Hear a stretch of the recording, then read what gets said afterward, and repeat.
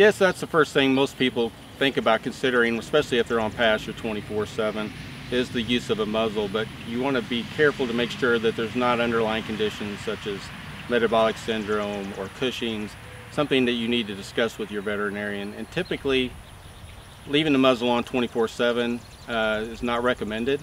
A 12-hour length and duration for using the muzzle is typically what you want to see. Plus, you want to remove the muzzle occasionally just to make sure there's no rubbing issues or anything of that sort going on. So do consult your veterinarian to make sure that what you're doing is right for your specific needs.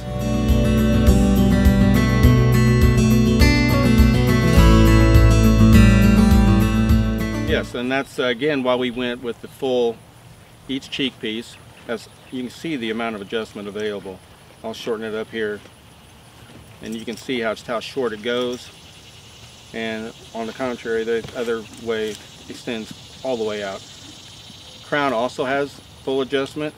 Throat also has full adjustment. Now that being said, when you're going to use the safety breakaway feature, you, this is not typically used for adjusting for the sizing. You want to do this with the slide crown piece and all the other adjustments. That's where you do your fine tuning to make it fit. once you've determined where you, first you need to determine if you're going to use the Velcro in the fully loaded, most secure position, which is all the way in as you see there, and then closed completely. Or if you're going to use it in the half position if you have some concerns about them becoming entangled, if you have a lot of limbs or trees in your pasture, you might consider that. I mean, you're going to learn over time when you're using it, just what setting you need to have it on. But with a full-size horse, with their full weight, and when you have it in the fully loaded position, it's going to break away.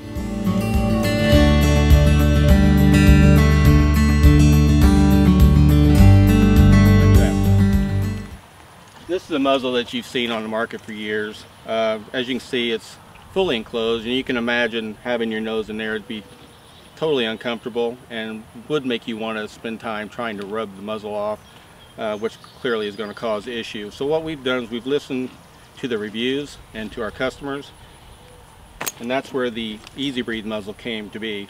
As you can see, we've opened it up on either side for the nostrils, so it's easy airflow. It's much more comfortable for the horse than obviously the, the old style was.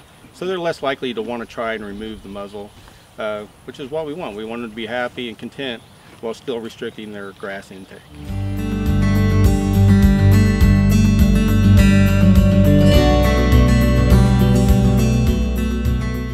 Well, this is the standard muzzle, which uh, is what you commonly see, and it's made for a horse that will accept it, and with the features that we have on our Easy Breathe muzzle, it makes it more accepting to them. But if you still have a horse that typically wants to rub and get their muzzle off, we have a solution for that in this muzzle. Uh, this is a mini muzzle, so that's why the size difference.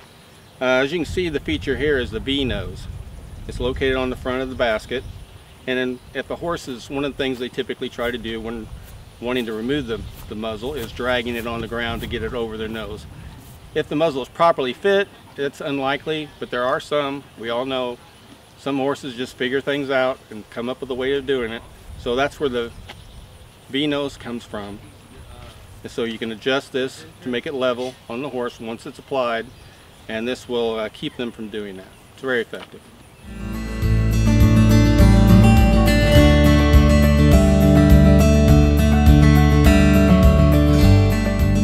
Beginning, once you have the muzzle properly fitted, two fingers here, two fingers there, um, what you want to do is you want to like get some grass or get some hay and kind of introduce them to the opening below so they get the idea of where they can successfully get grass or any other food item.